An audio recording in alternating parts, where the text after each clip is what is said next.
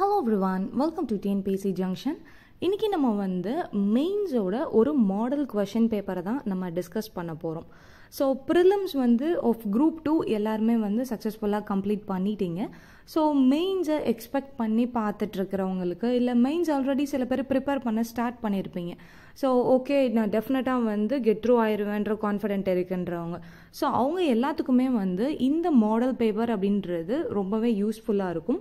So ஏன் இதை நான் யூஸ்ஃபுல் அப்படின்னு சொல்கிறேன்னா நிறைய வந்து சேஞ்சஸ் வந்து இந்த இயர் பண்ணியிருக்காங்க ஸோ ப்ரிவியஸ் இயர் அப்படின்னு சொல்லிட்டு நீங்கள் எடுத்துக்கிட்டிங்கன்னா three eight fifteen and thirty மார்க்ஸுக்கு வந்து உங்களோட கொஷின்ஸ் இருக்கும். அதாவது மூணு மார்க் கொஷின்ஸ் இருந்தது எயிட் மார்க்ஸுக்கு கொஷின் இருந்தது ஃபிஃப்டீன் மார்க்ஸுக்கு கொஷின் இருந்தது அண்ட் தேர்ட்டி மார்க்ஸுக்கு வந்து கொஷின்ஸ் எல்லாம் இருந்தது.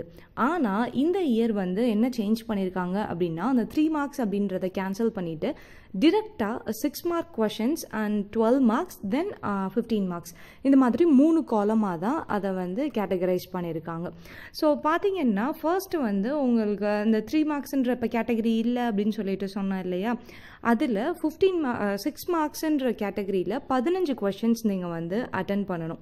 So fifteen into six is equal to ninety நான் தொண்ணூறு மார்க்குக்கு வந்து பார்ட் ஏ வந்து கேட்குறாங்க அதை எப்படி பிரித்து கேட்குறாங்க அப்படின்னு பார்த்தீங்கன்னா அவங்களே வந்து ஒரு செட் ஆஃப் லைன்ஸோட புக்லெட்டில் உங்களுக்கு வந்து கொடுத்துருவாங்க. இப்போ ஃபர்ஸ்ட் கொஷின் எடுத்துக்கிட்டிங்கன்னா ஃபிஃப்டி வேர்ட்ஸ் வந்து அட்லீஸ்ட் இருக்கணும் அப்படின்னு சொல்லிட்டு சொல்லியிருக்காங்க.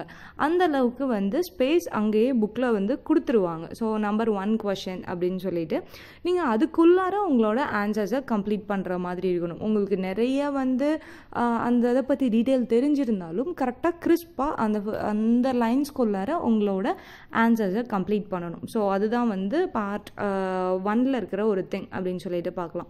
ஸோ சிக்ஸ் மார்க் கொஷின்ஸ் வந்து ஃபிஃப்டீன் கொஷின்ஸ் எழுதணும் மஸ்ட்டு அதில் வந்து உங்களுக்கு சாய்ஸ் கொடுக்குறாங்க. ஸோ நம்பர் ஆஃப் கொஷின்ஸ் ஓவராலாக எயிட்டீன் கொஷின்ஸ் கொடுத்துட்டு அதில் எனி ஃபிஃப்டீன் அப்படின்னு சொல்லிட்டு கொடுத்துருக்காங்க.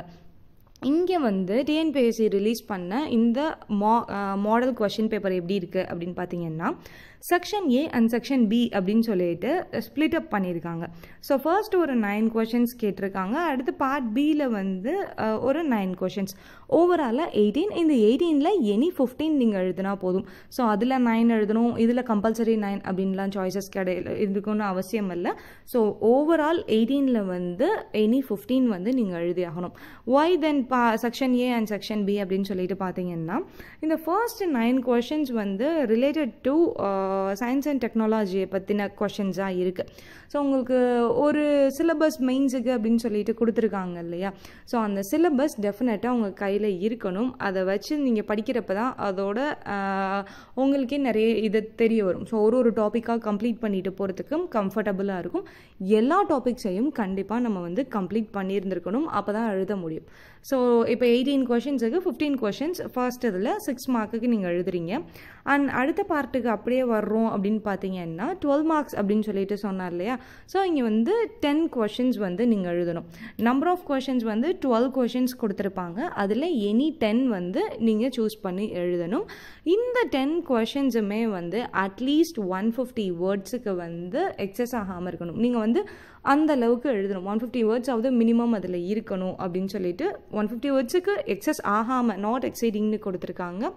ஸோ அந்த அளவுக்கு வந்து உங்களோட பேசேஜ் அந்தது இருக்கணும். ஸோ அவங்களே எப்படியும் வந்து அதுக்கான ஸ்பேஸ் கொடுத்துருப்பாங்க. அந்த ஸ்பேஸ்க்குள்ளார நீங்கள் உங்களோட ஆன்சர்ஸை கொடுக்கணும். So ten mark twelve marks அப்படின்னு சொல்லிட்டு பார்த்தீங்கன்னா பத்து கொஷின்ஸ் நீங்கள் எழுதணும்.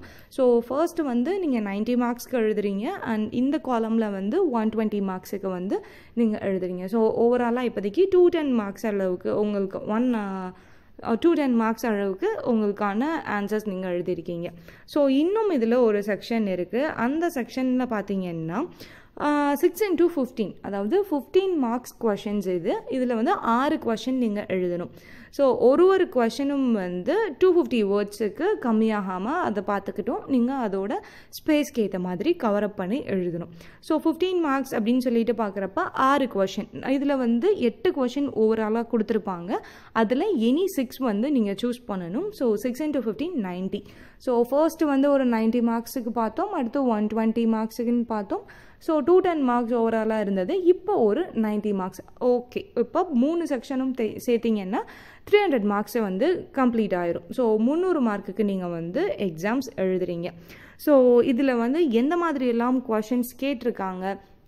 எங்கெல்லாம் வந்து கரண்ட் அஃபேர்ஸில் உங்களுக்கு ஹெல்ப் பண்ணும்? அப்படின்றதெல்லாம் வந்து இதில் நீங்கள் இந்த மாடல் பார்த்தீங்கன்னா டெஃபினட்டாக உங்களுக்கு ஒரு ஐடியா இருக்கும். ஃபார் ஃப்ரெஷர்ஸ் மேபி மெயின்ஸ் நீங்கள் வந்து ப்ரியாராக போயிருக்கீங்க அப்படின்னா உங்களுக்கு வந்து நிறைய பழக்கம் இருக்கும்.